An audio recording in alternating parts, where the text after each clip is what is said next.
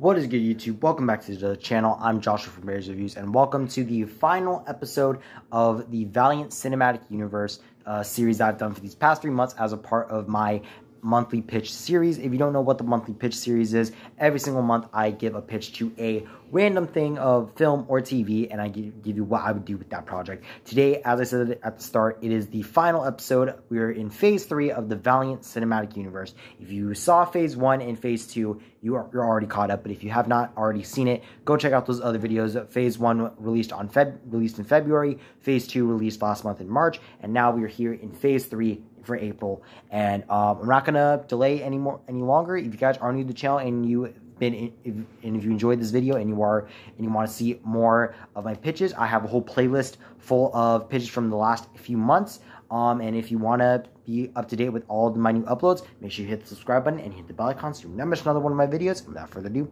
let's get into it with project number one of phase three, uh, our first show of the season of, of the phase, tall, called Time Walker Season 1.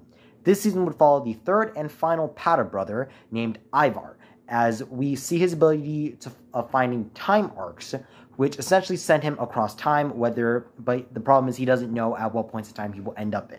Um, Ivar is the third brother of, of, of, of, um, he's the third brother of the uh, Padda brothers. Um, the first one being the Eternal Warrior, who we've met a few times already. The second one being Armstrong, and now Time Walker is the third one. Um, the main bulk of the season would follow Ivar trying to find his wife Neela, um, who he met at, who in her timeline, in, in time, she uh, met a few years prior to the events of all of everything that's been happening this whole show, this entire universe. Um, and uh, um, this season wouldn't necessarily have a villain per se. Um, Time Walker would be just jumping from different points in history, but um, at but Neela would also be uh, a certain villain in, in the sense of she is obsessed with time travel in learning how to find uh, the love of her life. She create she in, she inadvertently creates time travel, and she tries to use time travel to find uh, Ivar, which has some drastic uh, uh attack, drastic measures for the for the timeline. Um, in the end, Time Walker defeats or not so defeats, but he stops uh, Neela from creating any more time arcs that uh, should be used. And the ending of the season would have Ivar accidentally travel to the future to see both of his brothers dead, something that he never thought he'd see, and sees that a war is coming, and it makes and he makes his mission to stop this event from happening. This has been an event that I've been teasing essentially since we first met the Eternal Warrior, and it'll be like the final project of the whole uh, phase of the whole universe, and we'll get to that in a minute. The second uh, project in Phase 3 is a film called The Renegades. This film would follow Peter Stanchek, a character we met in Phase 1 of the universe, who we've not, who at this point would have had at least one cameo in in another project. I don't know what project that would be, but he would mainly we wouldn't have mainly have mentions of him through Livewire. But this film this film would follow follow Peter as he discovers that someone by the name of Enfuego is hunting down harbingers, superpowered individuals more specifically, um, that's what they are called, and is and is activating their powers against their will, um, whether that will kill them or not, because uh, the abilities of um, harbingers can be unlocked through times of stress, and what's more stressful than being hunted down by a superpowered individual?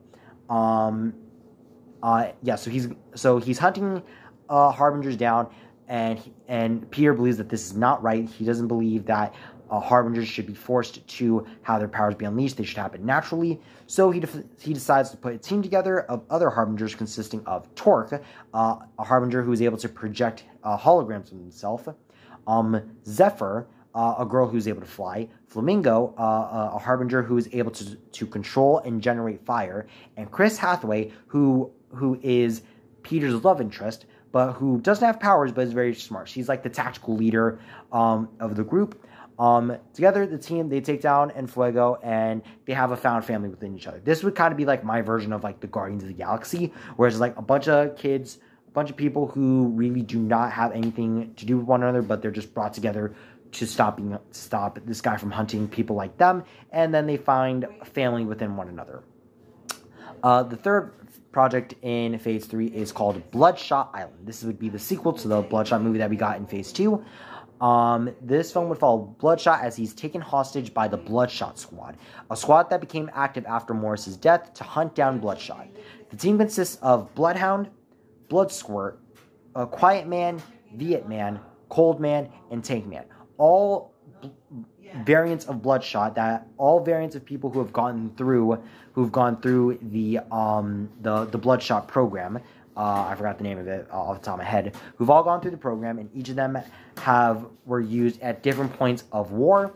Um, and after Morris's death, they were activated um, and and began to hunt down uh, Bloodshot. Um, the film would end with Bloodshot killing all the members except for Bloodhound as he grew fond of the dog, having Bloodhound being like uh, Bloodshot's uh, companion. The fourth project in Phase 3 would is uh, Armstrong and Archer Season 2. The villain of the season would be a man named General Redacted.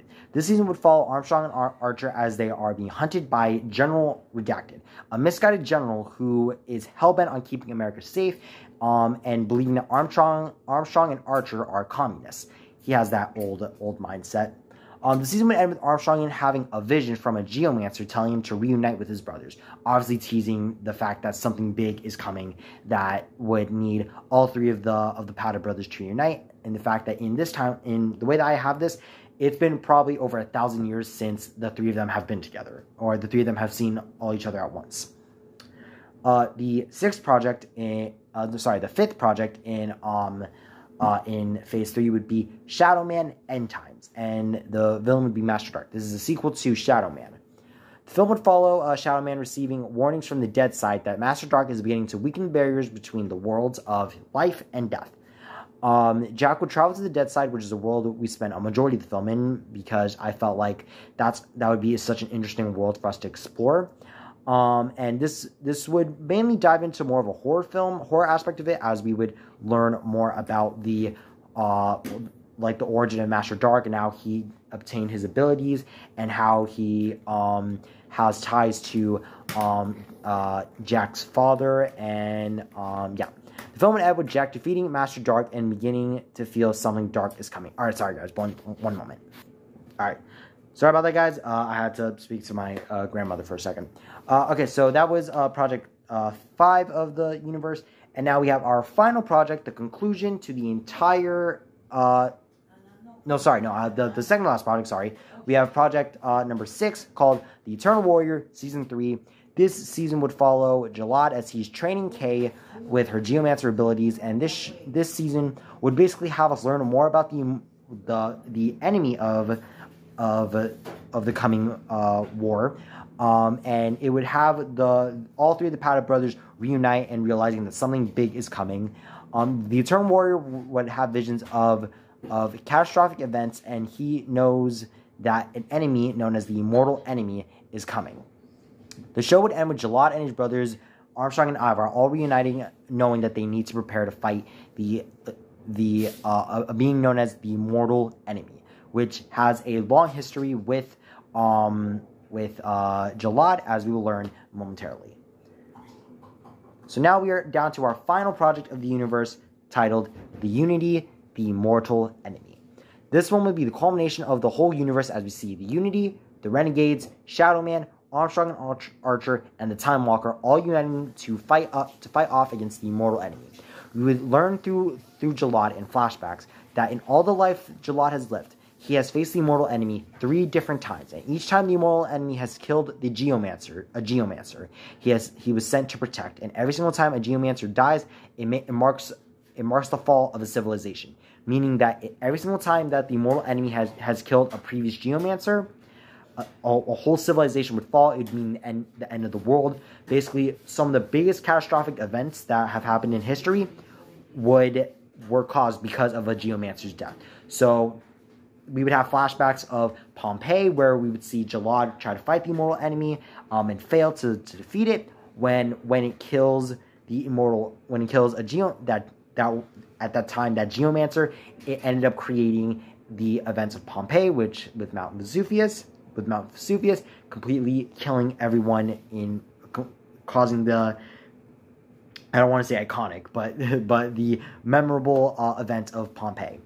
Um, and we would see through other through other flashbacks of just horrible events that have happened throughout civilization throughout the years, and just how big of a th- excuse me, with how with just how much big of a threat the immortal enemy is, and how difficult it is for Gilad to defeat him. And and he finally in this film we finally see him have some confidence that um have some confidence in being able to finally defeat the immortal enemy just because of how difficult it is to defeat it.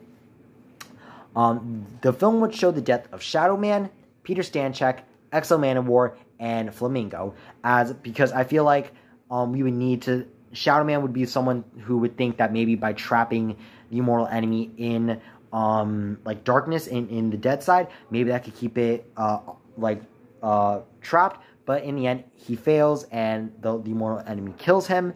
Um, Peter Stanchek, he is in this universe. He's tied with um, uh, uh, with uh, Awatoyo to be one of the strongest telepaths in the world. So um, the immortal enemy would obviously see that as a threat and kill him. X-O Manowar, it's kind of self-explanatory. Uh, the suit is designed as like a world destroyer, so maybe um, so maybe the immortal enemy saw this as a threat and it would easily defeat him. Some of the most powerful members in this team in, in this whole lineup would be killed. These four being like the main ones that we see get killed um, and just seeing how everything that all these characters have been through has been culminating to this final battle for basically the whole world. Because they've each of them have faced individual villains throughout their time and but they all agree that a threat as big as the immortal enemy has been something that they've never in their life faced. Um, the film would end with Gilad sacrificing himself to end the immortal enemy and saving the world ending and ending having geomancer k um, ending up with her having the final blow on the immortal enemy, finally ending the immortal enemy and ending that endless cycle that um it was born to have, meaning that it'll that the role of the geomancer will continuously be in the way that she was chosen, where Kate was chosen, where the geomancer simply just chooses who who should be who is worthy of the abilities of life on Earth. Um, we learned that the immortal enemy is now being killed, and its cycle will now end and no longer hunting geomancers every few thousand years because that that was the thing that the immortal enemy would do. We would see we would we there would be a, a post credit scene where we see all the characters come together to honor the fallen heroes that we had. Obviously, Shadow Man, Peter Stanchek, uh, X-O Manowar, Flamingo, and and the Eternal Warrior. Um, and the film would have a post credit. The film would end with the Unity consisting of Livewire, Bloodshot, Archer, um, uh, uh, uh, why am I blanking on the other members' names? Um, Torque and and Time Walker, all five of them coming together to form the new Unity because we obviously need to have a, a new Unity in this lineup. And in the end, the the world looks bright for the Valiant Cinematic Universe. And there you go. That is my pitch for Phase Three. This was definitely the shortest one of all of all of the three phases. This was just primarily because I didn't like with all these other character with all these other projects, I really did not know what to do with the characters and stuff because a villain like the Immortal Enemy, that's not a villain that is really um, known about. But I did my research as much research as I could, and the Immortal Enemy was just someone I kind of wanted to work with. I, I and Master Darque was another option I could have gone with, but I just felt like because he's more tied to Shadow Man, I just felt like he would he would have been the best option. But there you have it. That is my pitch for Phase Three of the Valiant Cinematic Universe three months of my life have been dedicated to this series, to this trilogy. Um, I hope you guys have enjoyed me talking about this very underappreciated universe, and I really hope that like at some point someone will give the Valiant Cinematic Universe, the Valiant comics, their own time to shine. I know that in 2020 they tried to do that with um, the Bloodshot movie with Vin Diesel. I know they tried to start something up with that film, but because it just really bombed at the box office and no one really liked it. I felt like it was it was dead from the jump. So I thought maybe I give my own pitch and who knows, maybe at some point I'll have an opportunity to make my own to make this into reality. I don't know. I, I would definitely feel like this would be something I'd be interested in doing. I don't know. We definitely need to have I, I would definitely have a lot of these characters have more time in the comics before taking them to the big screen just purely because of Sorry about that, guys. My phone was being uh, my phone was being annoying with someone trying to call me from Jersey. I don't know anyone.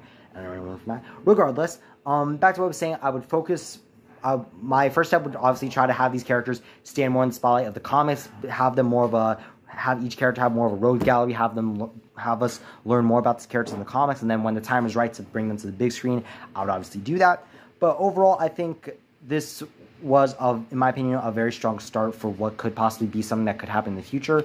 Would I actually follow through with this universe? Maybe. Uh, there would definitely be some changes I would make in the future, but overall, I think I, I think this was a solid pitch for what I could do with a three-phase cinematic universe. Um, let me know down in the comments what you thought of this pitch of this of the phase three pitch and of the all three phases as a whole. Did you guys enjoy this? Um, did you not enjoy this? Let me know down in the comments what you thought. Next month is gonna be uh, we're gonna change it up. We're not doing any more Valiant com- comics stuff. Um, it's gonna be a, a, change of pace with uh with uh with the pitch. Um, I, if my memory serves me right, it will be my first time pitching a. No, that's not right. No, it'll be my second time pitching a TV show, and um, it's gonna be very fun. I'm very excited for it. Um, it's kind of stepping out of my comfort zone a little bit because I'm diving into something else where I'm not too well versed in. But all I will say is that it, it it's gonna be a fun way for me to learn more about this universe. Um, anyway, thank you guys so much for watching. I hope you enjoyed this video. If you enjoyed this video once again, make sure you chuck a like on this video and hit the subscribe button so you won't miss another one of my monthly pitch videos. Thank you guys so much for watching. I'm Joshua from Reyes Reviews, and I'll see you all next time. Bye-bye.